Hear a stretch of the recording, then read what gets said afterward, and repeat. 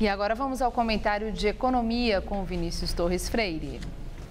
Em um ano, o preço dos aluguéis novos caiu mais de 3% em São Paulo, segundo dados do Secov.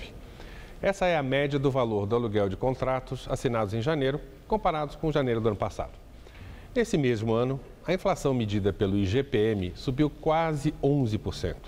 Esse é o índice de inflação que, em geral, reajusta os aluguéis velhos. Quer dizer, se seu aluguel foi reajustado pela inflação, ficou mais de 14% mais caro que a média do preço dos aluguéis novos. É isso que está acontecendo em São Paulo. Com a crise, o preço dos contratos novos está caindo. No entanto, na média dos velhos e novos, o preço dos aluguéis em geral está subindo. Segundo o IBGE, o preço dos aluguéis está subindo 7% em média ao ano. E daí? Daí que há espaço para a negociação do aluguel velho. Se não tiver, se não tiver, é o caso, se não tiver espaço para renegociar, é o caso de procurar alternativas a crise está feia no mercado imobiliário. A venda de imóveis residenciais em São Paulo está caindo em torno de 18% ao ano.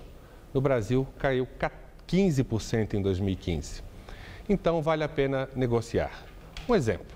Suponha que você pague R$ 2 mil por mês de aluguel. Suponha que você consiga reduzir mais ou menos pela metade o reajuste que seria pela inflação. Em um ano, são mais de R$ 1.300 poupados. Todos os aluguéis novos estão com preço menor? Não é isso. É bom lembrar aqui que a gente está falando de uma média. Como a gente sabe, preço de imóvel por vezes varia de rua para rua.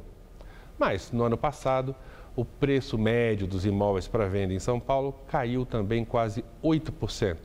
Isso, é claro, sinal de que está sobrando casa, apartamento e ainda mais loja e escritório. A situação não deve melhorar neste ano. Como a gente soube hoje, o desemprego começou a crescer mais rápido no final do ano passado e vai assim até o final desse ano.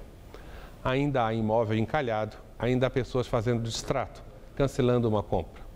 Ainda por cima, os bancos estão dizendo que a quantidade de dinheiro emprestada na economia vai cair. Logo, não há motivos para acreditar em recuperação do mercado imobiliário em 2016. Logo, o negócio é pichinchar. Boa noite.